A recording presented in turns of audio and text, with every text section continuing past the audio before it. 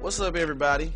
It's AJA. I'm gonna show you how to work song mode. I'm gonna show you how quick and easy it is to make a song. I'm just gonna go in here. I'm gonna click the song button right quick. Let's click on new. Alright.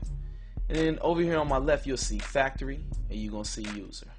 Factory is all the list of patterns that we made, all the beats that we made. User is where all the beats that you make will go. But for this example, um, I'm going to uh, pick a pattern that you know that we've made. So once again, let me start over again. Just click song button, take you to the main song screen. Click new. Over here on the left, you got your patterns, user and factory. And now all I gotta do is this first slot. I'm gonna say I want this one, and I want it to loop one time, so that's fine. Now let's go to the next little slot, and I want blip two to play.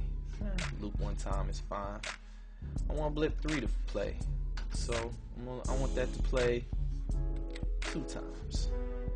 And then I want um, blip 4 to play one time. And then that's the end. Alright? So I got that.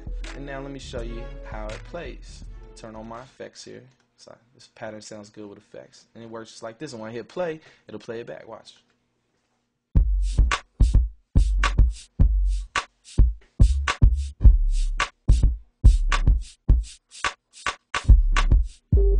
See how the list moves up? Every time it switches patterns, and it tells you how many times it's gonna loop too, see? See? Now it's gonna loop twice. I can also exit out here, and you can see your bar and beat counter right here too, see? See?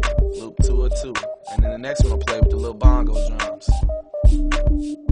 Uh-uh, uh-uh, uh, yeah.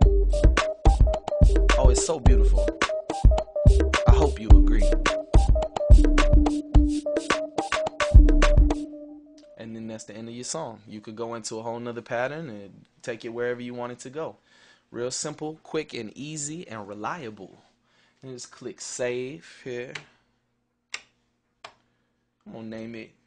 I'm gonna call it um that bounce.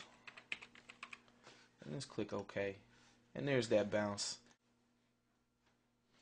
So after I name it, you'll see right over here in the left hand side, you'll see that bounce. And I can load that anytime I want.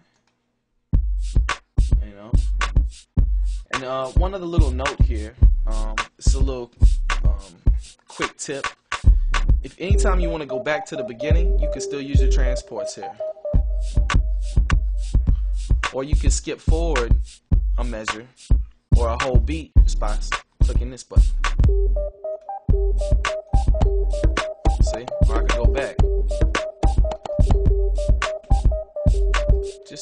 That easy.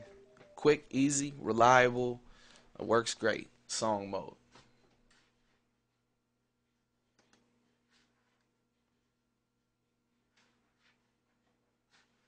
So once I have my song done, if I want to export it, I can export it just click on export, click live off, say record, and then hit play. Boom. And I can call that that bounce. And done. It's there, just like that. Um, and so now, you know what I mean? I got that song and, and everything. I could pull it up in iTunes. I could burn it to a CD, whatever. Now let me show you how to get that song, access to that song. So I've got my little folder here with my samples in it. And now I'm looking for that bounce. Export that bounce. See, I got a bunch of stuff I've been exporting because I've been using this thing. I'll be on it. That bounce. Boom, baby. There it is. Look, see? See that? See that? Got it. It's right there. I could drag that into iTunes. I could do whatever I want with it. And uh, it'd be ready to go.